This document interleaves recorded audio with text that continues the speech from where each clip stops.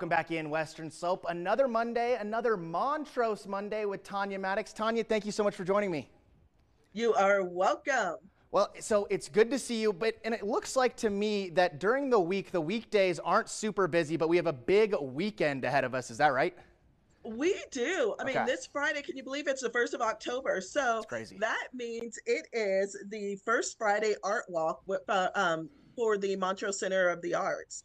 And there's live music, and there's going to be drinks, there's going to be food, and they always happen to um, open a new exhibit during that time as well. So that is uh, starting at four, and it'll go until seven o'clock. It'll definitely be something you want to do.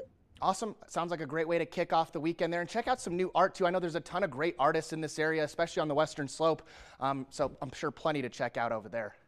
Most definitely. All right. Well, what do we have coming up next? We have a couple things on Saturday, right?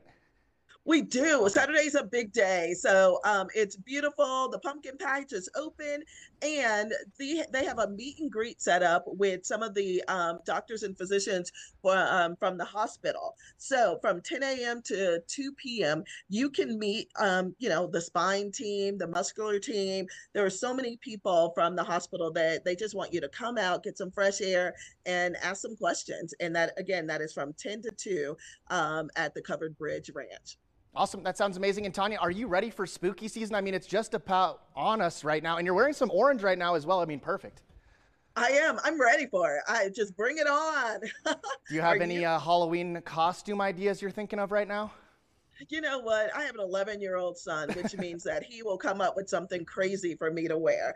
But I am that person in the neighborhood doing it. Perfect. Love that. You know, I uh, I'm not exactly sure yet, but uh, one of the guys in the production room had mentioned vampire to me earlier. So we'll see what that looks like. We'll see if that comes to fruition. But uh, we got one more event on Saturday. What is it? Oh, it's a big deal. Okay, how many um, car dealerships give away a car? You know, so Turner Automotive is turning 50 and they're doing it with a bang. They're inviting the entire community to come out from 11 to 4. They've got the Neon Sky Band, they've got some hamburgers, hot dogs, um, desserts, all sorts of things that they just want you to spend time and say thank you for helping them um, be a part of this community for 50 years.